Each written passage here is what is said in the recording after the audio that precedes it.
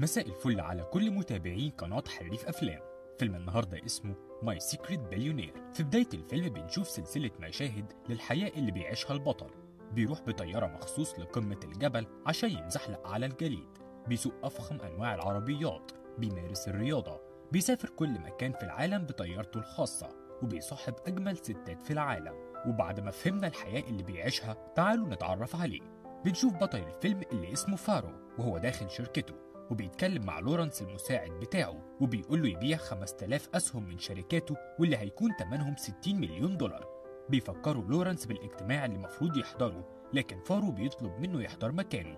بعد ما بيخلص شغله بيروح يحضر حفلة في فيلا ناس أصدقائه وهو مستمتع بالجو. بيجيله تليفون من أمه وبتقول له إن أبوه مريض وبيسأل عليه. بعد وقت قصير بيكون فارو على طيارته الخاصة ورايح لهم. بيستعرض حياته من خلال ذكرياته. بيحكي إنه اتولد في إيطاليا في أسرة بسيطة لكنهم هاجروا لأمريكا وبقى راجل أعمال ناجح.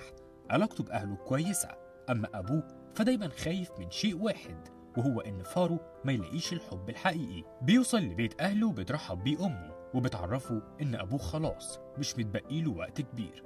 بيدخل يسلم على أبوه وبيميل جنبه عشان يسمع كلماته الأخيرة. ساعتها بيطلب منه أبوه آخر طلبة قبل ما يموت. وهي إن فارو يبعد تماما لمدة شهر من غير فلوسه ومن غير ما يستخدم اسمه. فارو مش قادر يفهم السبب لكن أبوه بيصمم يوعده بكده وفعلا بيوعده إنه ينفذ وصيته. وفي النهاية بيموت الأب وبعد الجنازة بيودع أمه وبيرجع مدينته. في شركته بيقابل لورنس اللي بيعزيه وساعتها بيعرفوا فارو إنه هيختفي لمدة 30 يوم.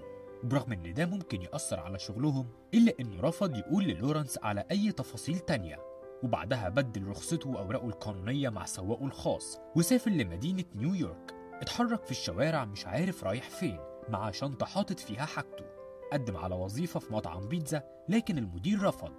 بيدخل يقعد في بار ومن جوعه بياكل الزيتون اللي بينزل مع المشروب وبيلاحظ واحدة جميلة قاعدة جنبه بتنجذب لشكله وهيئته وبيتعرفوا على بعض. بيقدم نفسه باسم كلود واللي هو اسم السواق. ومش بيجيب سيرة هو مين وبيمتلك قد إيه. ولما بتحس إنه مجرد شخص عادي بتسيبه وبتمشي. لكن بتقعد مكانها واحدة اسمها بيتا. مش جذابة ولا حلوة زيها لكن كانت لطيفة معاه. قال لها فارو إنه ما عندوش مكان يبات فيه النهارده فأخدته عندها البيت. وهناك شاف واحدة نايمة على الكنبة. ما وضحتلوش هي مين وبعتته لسريره. وفي الليل دخلت له بيتا تتنحنح عليه شوية. لكن ضحك عليها وقال لها إنه شاذ وطول الليل معرفش فارو ينام من شخير بيتا فخرج قعد في الصالة وفضل باصص للست اللي نايمة. بتصحى من حركته وبتتخض منه. بيخافوا يكون منحرف وفي النهاية بيطردوه. بينزل الشارع واتنين بلطجية بيتعرضوا له لكنه بيضربهم وبيطلع يجري. بيهرب على سلم الحريق لمبنى ومش بيقدروا يوصلوا له. لكن واحدة من السكان بتتصل بالشرطة لما بتشوفه قاعد قدام شقتها. بتوصل الشرطة وبيقبضوا عليه. بيحكي لهم قصته وإنه في اتنين حاولوا يسرقوه لكن بيبيتوه في الحجز الليلة دي.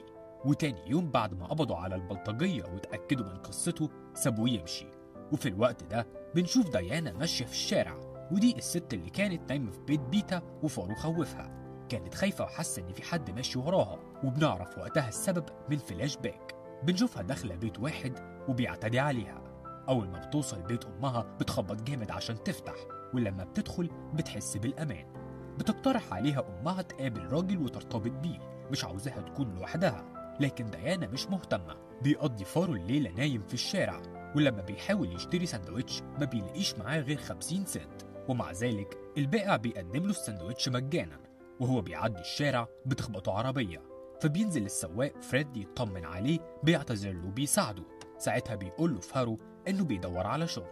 فبيعرفه فريد إن واحد من العملاء بتوعه بيدور على سواق. وبياخده لبيت العميل اللي اسمه كيرتس. بنعرف إن الراجل ده أخلاقه مش كويسة بيعامل الناس باحتقار كأنهم أدوات. بيتخانق مع مراته كات وبعدها بيقعد يتكلم مع فارو. بيقول له إنه مش بس هيشتغل سواق لكن هيطلب منه مهمات تانية مختلفة. ولأن فارو محتاج الشغل بشدة وافق وبتدخل نانسي بنت كيرتس وأول ما بتشوف فارو بتعجب بيه. نبهته كات إنهم محتاجين حد يخدم على الضيوف في الحفلة فبيعينوه فورا.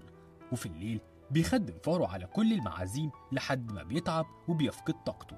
بيطلب منه كيرتس يوصل واحد من الضيوف في البيت وهو في الطريق بيتصل بلورانس وبيطلب منه يدي مكافأة 5000 دولار لكل الموظفين في الشركة.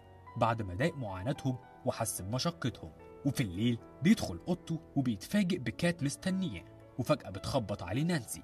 فبتستخبى كات وبتبدأ نانسي تغريه عشان ينام معاها لكن الباب بيخبط تاني. بتجري نانسي تستخبى وبيطلع كيرتس اللي هو كمان جاي عشان معجب بفارو بشكل ما. لكن فارو بيقول له إنه مريض بمرض معدي فبيسيبه وبيمشي. ولما نانسي بتخرج بيحرجها فارو وبيرفض أي علاقة معاها. فبتتضايق منه وبتقول له إنها هتدفعه الثمن وبعدها بيمشي كات. تاني يوم بياخد كيرتس يوصله شركته وهناك بيشوف ديانا تاني. بيكون لطيف معاها لكنها بتتجاهله وبيضطر يمشي. وبعد ثلاث أيام بيبعت لها فارو بوكي ورد لكن من غير كارت ولا رسالة. وبيتصل بيها كيرتس وبيطلب منها تطلب تاكسي وتجيب له شنطته اللي نسيها في المكتب. اعتذرت إنها مش هتقدر علشان عندها جنازة لازم تحضرها لكنه رفض حتى يسمع العذر.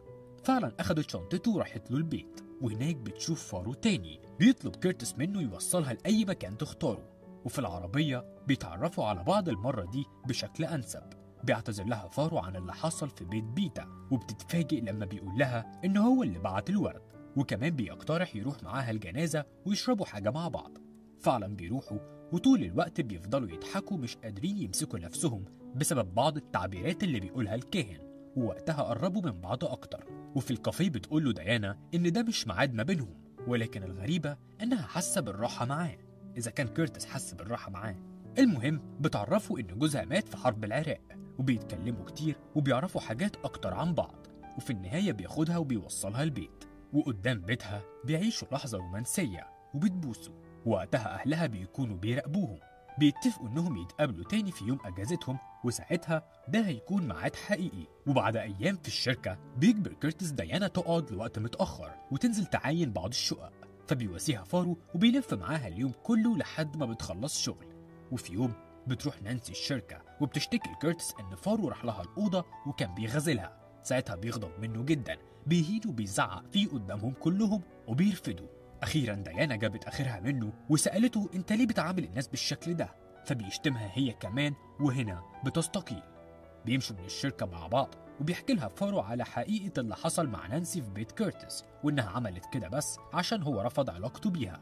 ضحكت ديانا وسألته هتبات فين النهاردة؟ لكن ده ما كانش مشكلة لأنه قبض مرتبه. فعزمته على العشاء مع أهلها بالليل ووافق. وقبل العشاء بيقعدوا كلهم في جو متنشن وأهلها بيحاولوا يعرفوا كل المعلومات عن فارو اللي قدم لهم نفسه طبعا باسم كلود وطبعا ما اتبسطوش لما عرفوا إنه مجرد موظف عادي ملوش مستقبل وقال لهم إنه اترفد من شغله وجر ديانا معاه في الورطة. ساعتها اتفزعوا من الخبر لحد ما ديانا وقفتهم عند حدهم وبدأوا يتعشوا والحقيقة إنهم كانوا معجبين بأخلاقه وبعدها خرجوا وفضلوا يتمشوا مع بعض وهم بياكلوا آيس كريم وبيتكلموا وبدأوا يدوروا على شغل لكن ديانا كان عندها فكرة تانية طلبت منه يكون شريكها في شركة جديدة ومعاها فلوس كانت محوشاها. اتفاجئ فارو إنها مستعدة تخاطر بكل اللي عندها معاه ولأنه راجل أعمال ناجح عنده طرق للدخول للسوق وزيادة البيع. اتحمست ديانا جدا لما سمعت أفكاره المبهرة فخرجوا يحتفلوا مع بعض بشركتهم الجديدة شربوا ورقصوا وفي النهاية رجعوا البيت. قرب منها فارو لكنها ما قدرتش تدخل معاه في علاقة. وبتحكي له السبب. لما جوزها مات كان نفسها تعرف إيه آخر حاجة قالها. فراحت لصديقه اللي كان معاه وقتها لكنه طلع كذاب واعتدى عليها. بكت ديانا ووساها فارو. وأخيرا فتحوا الشركة وكانوا ناجحين. وبيصارحها فارو إنه مضطر يرجع لكاليفورنيا قريب. أما هي ما كانتش مبسوطة من القرار ده. وبعدها اتصل بيه لورنس وقال له إن مجموعة شركاته في خطر بعد ما باعوا ال 5000 أسهم. فطار بسرعة على كاليفورنيا وفعلا قدر يستعيد السيطرة تاني على شركاته. ورجع تاني لديانا في الشركة. وهناك فاجأتهم كات ودخلت وباسته بالعافية. فحصل ما بينهم سوء تفاهم وانتهت علاقتهم بخناقة. بيجي آخر يوم في الشهر وبيضطر فارو يرجع لمدينته. اتضايق إنه هيمشي من غير ما يودعها. وبعد أيام بعت لفريد شيك هدية بخمسين ألف دولار. ولما كيرتس وبنته عرفوا استغربوا وما صدقوش إنه بليونير. قبل ما يمشي راح لها البيت. اتكلم معاها وشرح لها كل حاجة. وفي النهاية سامحته ورجعوا لبعض. وقتها طلب منها تروح معاه كاليفورنيا. ووافقت وسافروا مع بعض. وأول ما وصلوا وضح لها فارو الحقيقة. اسمه الحقيقي وشركاته وأمنية أبوه اللي كان بيحققها الوقت اللي فات. أما ديانا شافت فيه إنسان طيب خاصة لما شافته بيعامل موظفيه زي أصحابه وكانت مذهولة لما عرفت هو مين. وبعدها بتقوله إنها هتضطر تدور على شغل هنا لكنه بيقول لها إنه عاوز يشاركها كل حاجة بيمتلكها لأن دي أول مرة يختبر معنى الحب الحقيقي. بيطلب منها الجواز وبتوافق. فعلا بيتجوزوا. وبيعيشوا مع بعض في سعادة وعزم كل الناس اللي قابلهم في رحلته حتى كيرتس. في نهاية الفيلم أكيد فهمنا القصد الأخلاقي وهو إن الفلوس تقدر تشتري حاجات كتير لكن مش الحب الحقيقي. وبكده يكون الفيديو خلص. لو عجبك الفيديو ما تنساش تدوس لايك وتشترك في القناة.